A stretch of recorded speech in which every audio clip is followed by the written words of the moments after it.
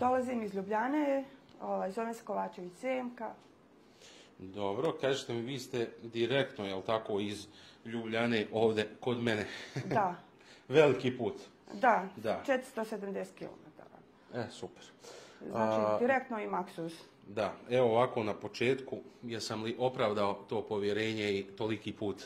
Jeste, u, potpunosti. Da. Ne kajem se ni truna, znači, ni u plečki, desnoj, u lijevoj manje normalno, ovaj, kičma, koljena, laktovi, e, stopalo utrnjeno.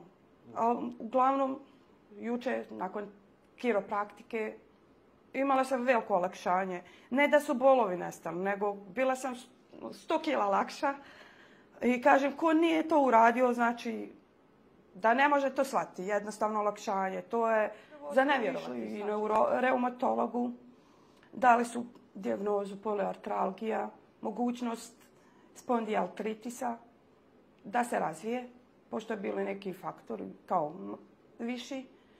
Kao pozitivna sam na HLB 27 i visok je bio. Ne znam. Uglavnom, tu je bilo u redu. Dok su mi kao pretpostavili da bi mogla biti fibromijalgija. Potom sam ovaj, išla neurologu, kod njega kao bilo sve u redu.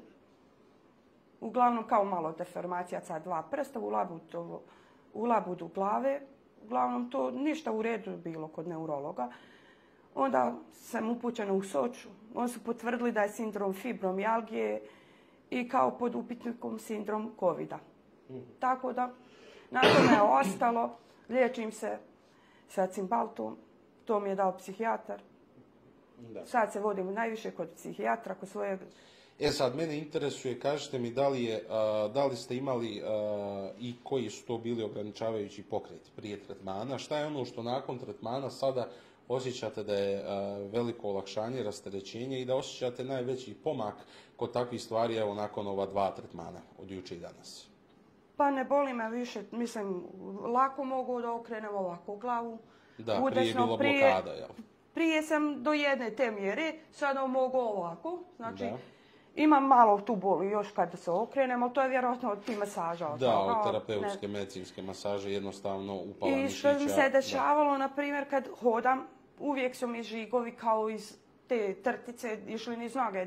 Danas pa jučer toga nije bilo, to sam mužu govorila. Uglavnom fino sam šetala. Nisam htjela nigdje drugo ići, došla sam tu i ne kajem se. I, I kogod ne zna, znači šta je to, ne može ni sud. Ja sam iznenađena. Znači, olakšanjem, prvo to, to je vrijedno dolaska, neka malo ostalo. Da. Ja sam zadovoljna, hvala vam. Hvala vam, puno prijatno.